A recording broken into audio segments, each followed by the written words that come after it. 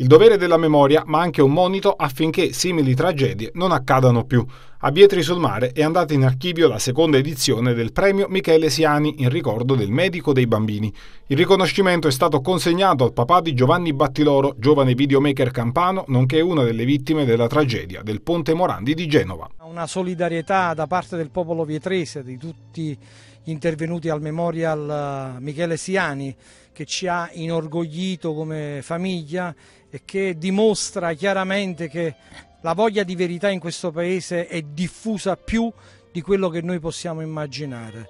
Non ci possono essere ancora buchi neri in un'Italia che ha lo sfascio sotto il punto di vista delle infrastrutture.